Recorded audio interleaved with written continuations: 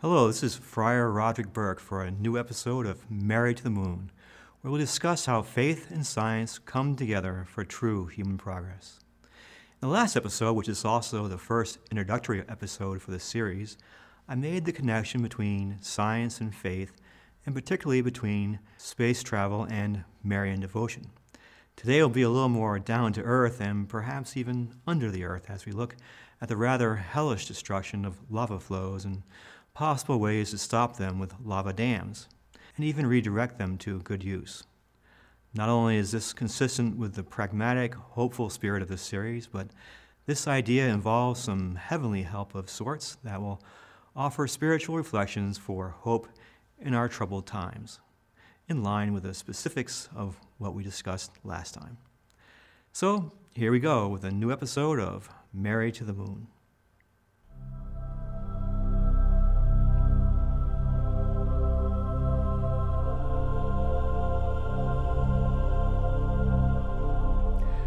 This episode will be quite different from the one I had planned for the second episode because I was looking at all the damage happening in Hawaii and with the lava flows there, and not to mention in Guatemala.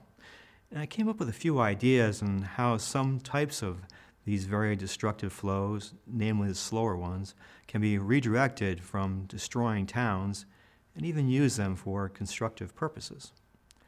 Although much of this volcanic activity has now subsided, I thought I'd put together a quick episode on my thoughts while these events are you know, still fresh in our memories. They may provide food for thought in preparing for similar events in the future. So we've all seen the nightmarish images of total destruction caused by large lava flows where neighborhoods are getting swallowed up by unstoppable walls of burning rock that first sets everything ablaze including houses, and then buries them under tons of liquid rock that solidify and leave a bleak, hard, crusty, rocky landscape where once was lush forest, farms, or, or homes. The usual means of dealing with the problem is to give homeowners enough warning to pack up everything they can and then get out of the way while their house gets lost. Truly a great misfortune that calls for great sympathy, giving to relief funds, and uniting in prayer to God. This is not to say that people have not tried various ideas in the past to redirect lava. These include setting up barriers, bombing from airplanes, including biplanes directed by none other than Colonel Patton, destined to be General Patton of World War II. Also were tried both in Hawaii and Iceland spraying water on the front of the flow to get it to cool down enough to stop it. And they also tried using bulldozers to pile up dirt dams and digging channels. All of these have met with only limited success at best, and so the current procedure is to just not even try, and instead give people warning to start packing. What I'm going to suggest is by no means guaranteed to succeed, but I do not see any immediate reason why it would not work, and at the very least offers another tool that may actually work in some cases. In my quick online search, I did not find this idea described anywhere, so here it is. It is a variant on the water spraying idea. The problem with spraying water on the lava is that it only cools the outside layer, which is not thick or strong enough to, to stop the flow. Lava is simply liquid rock, and rock is actually a fairly good insulator, so it's hard for the cooling effect to penetrate deeply into the lava from the outside. My idea is to use lattices of steel pipes assembled together and anchored to the ground in a long cage-like structure across the predicted path of flow, uphill from the town to be saved, and hook them to a water supply. This will allow the flow of lava to come among the pipes, and then you can flow water through the pipes in order to cool a large amount of lava quickly. This would form a barrier that would be massive enough and strong enough to deflect the flow away from a town.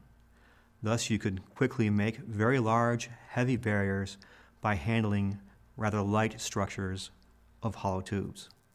This would give crews a, a fighting chance to save valuable property and neighborhoods. So yes, we are talking about lava dams, and in two senses. Dams that stop lava but using dams made out of lava, basically using lava to stop lava. So this is the main goal, but since it would work by forming a structure that is very similar to reinforced concrete, you might then be able to use the lava to actually build things for which you would normally need concrete. For instance, you could divert the lava along a series of these lattices sideways along a hill toward the ocean. And this would be about the correct inclination and grade for a road. So when the lava hardens, just pave the flow, add a guardrail, and you would have a new road. If flowing the water into super hot pipes is too explosive, then air could be pumped through the pipes first. Then when the Pipes are cool enough, start using foam, a mixture of water and air, and then finally use straight water. Hollow water-cooled reinforcing bars are already used for large-scale concrete structures like hydropower dams to shed the heat of the hardening concrete. So there are already well-established techniques for using them. I haven't put any time into determining if this idea is practical or not, nor peer review or calculations on water flow required and spacing and size of the tubes and other such things. But again, I have not heard the general idea mentioned before, so you never know. It, it may merit further investigation.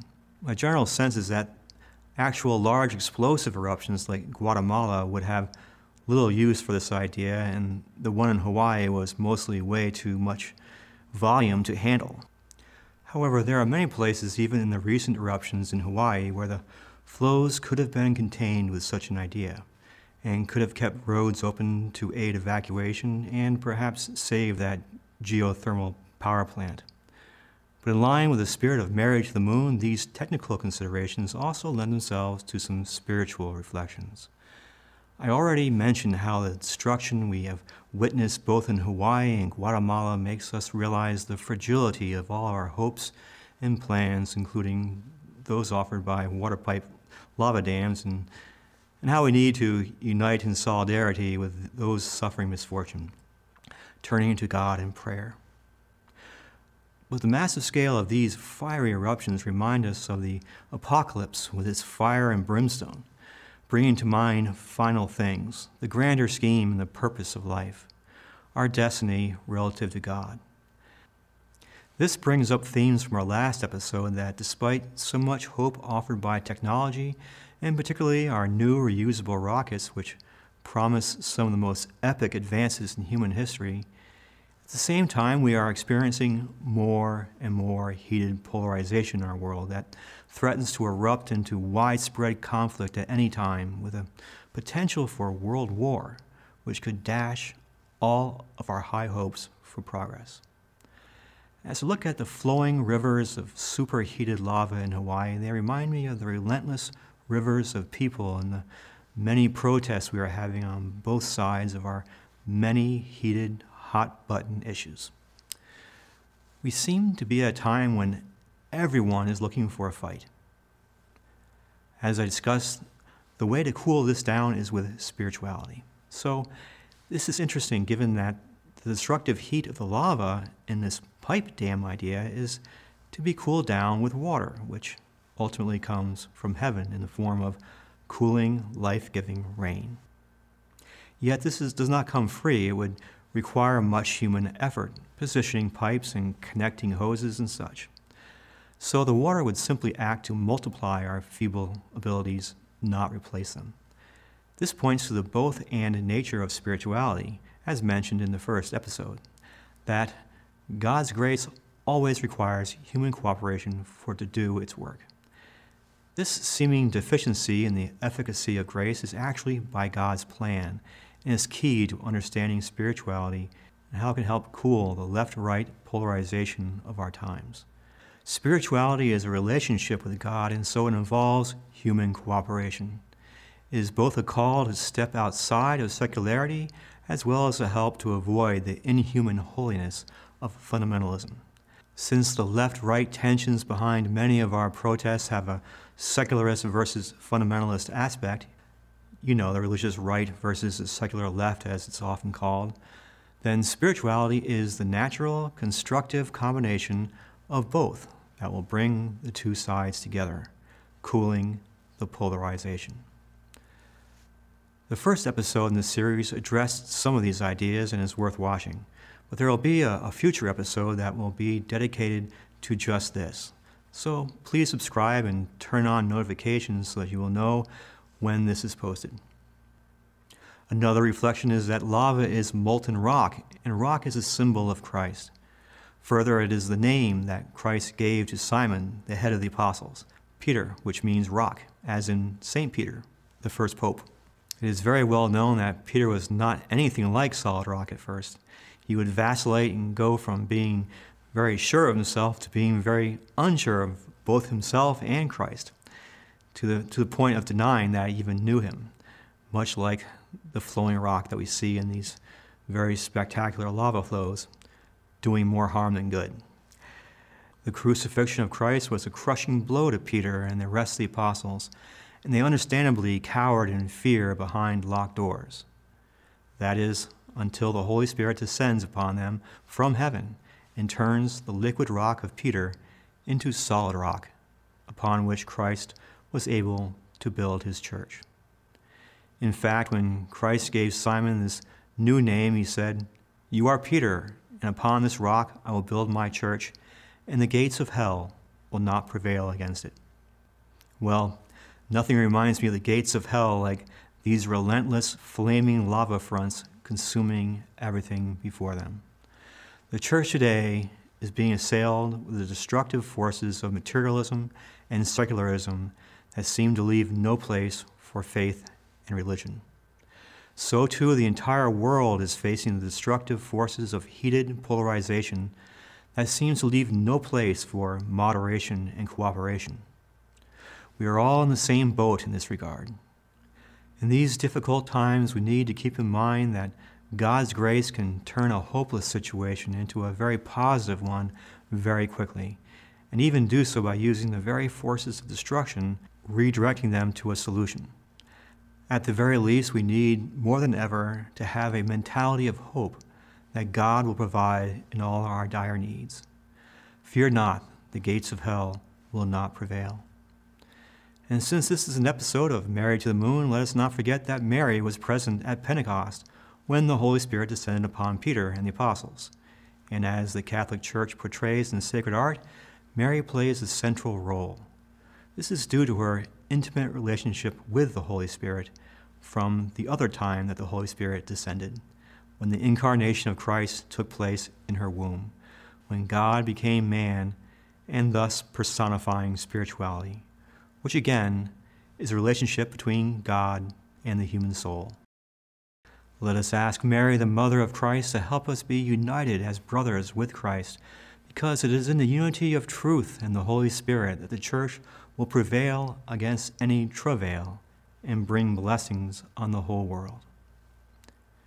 Again, I don't know if any of my ideas using water pipes and barges to stop lava will work, but it also provides some worthwhile spiritual reflections for hope in difficult times. However, as much as I love spiritual reflections, it would be awesome if some of these ideas actually could prevent some damage to property and even use some of the lava for good uses. Maybe with some brainstorming, experimentation, and planning, we'll be prepared for the next eruption. At any rate, this is the kind of hope filled, solutions oriented discussions that we will have here on this series. So if you want more, please subscribe and then click on notifications of future videos. And if you like this video, give us a like. The next video will be on how I came to the conclusion that we are on the verge of the greatest adventure in human history the mass colonization of space with the ability to launch amounts of material that were purely science fiction up till now, and how this will lead to a new era of prosperity. The following will be on how our leap into space will relieve much of our stress on our modern world in many ways that has shrunken so much due to technology, but also what are the pitfalls such as materialism. The following show will go into detail on how spirituality is the remedy for materialism and its divisiveness, and how Mary keeps the focus on this unity and avoids fundamentalism. That's it for this episode of Mary to the Moon, where faith meets science for true human progress. and as we say in our community as a greeting and a goodbye, Ave Maria, which means Hail Mary in Latin. So, Ave Maria, and God bless you.